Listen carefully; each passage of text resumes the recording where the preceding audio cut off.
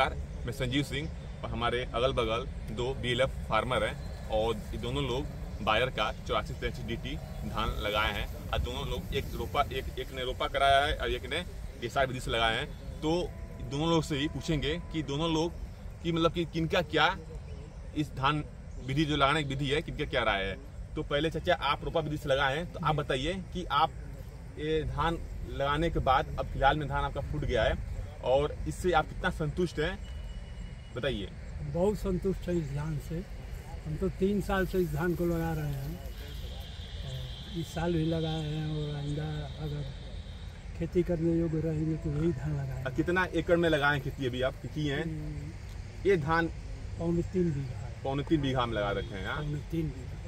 ये धान कहाँ से खरीद के लाए थे आप? यही दी अपने चौरी चौरा चौराहे से। बेटा लाइफ फ़ार्मिंग सेंटर बदुरैया से। मधुरैया से। ठीक है? इससे आप संतुष्ट हैं? संतुष्ट है भरपूर संतुष्ट है। और आप बताइए अपने बारे में किस विधि से लगाए आप?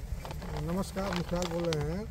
हमने सुपर सीडर से बोए हैं और रोपा से बहुत अच्छा हुआ है रोपा कराए हुए हैं ये धान। तो एक मिनट एक मिनट एक मिनट देखिए ये किसान भाई हमारे हैं और इन्होंने डीएसआर विधि से अपना कितने एकड़ में लगाए हैं? छः एकड़। छह एकड़ में धान लगा लगाए हैं। और इनको मैं इस देखिए ये रोपा कराया हुआ खेत है इनको मैं यहाँ पर लेकर इसलिए आया हूँ कि ये देख कर बताएँ क्या इससे बेहतर इनका है। इससे आपका बेहतर है आपका। आप इस, इसका देख सकते हैं इसका जो भी हाँ जड़ है। हाँ? इससे बेहतर आपका है। बेहतर इसमें पंद्रह तक है हमारा पैंतीस तक है।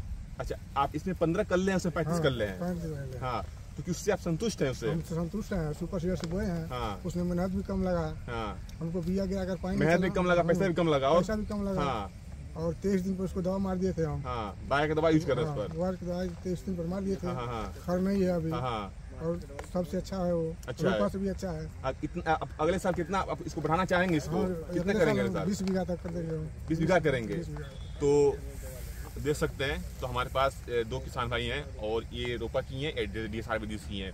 तो ये जो डी एस आर विधि किए हैं, ये काफ़ी संतुष्ट है और इनका रियलिटी में मैं भी अभी विज़िट करके आया हूँ मैं, काफ़ी अच्छा है। अभी मैं इसको